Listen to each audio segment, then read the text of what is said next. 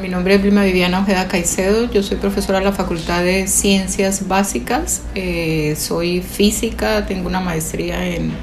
física también y actualmente me encuentro estudiando un doctorado en ciencias del mar. Eh, pero también pertenezco al proyecto WSTEM de la universidad que está eh, participando a nivel internacional en un proyecto eh, que está financiando la Unión Europea y somos cinco universidades europeas y seis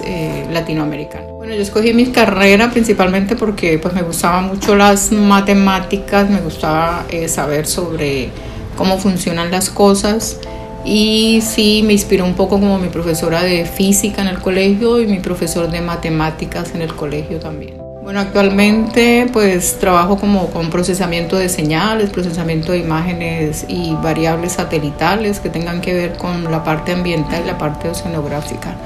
Y pues como lo más emocionante es poder a través de este estudio poder entender procesos aquí en la universidad haber podido eh, fomentar un poco lo que tiene que ver con la parte de estudios de oceanografía física y sobre todo que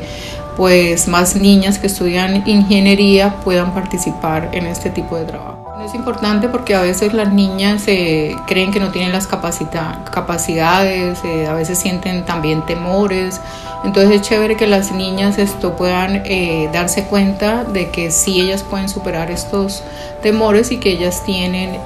igual oportunidades que los niños de estudiar una carrera de matemáticas, de ciencia o de ingeniería.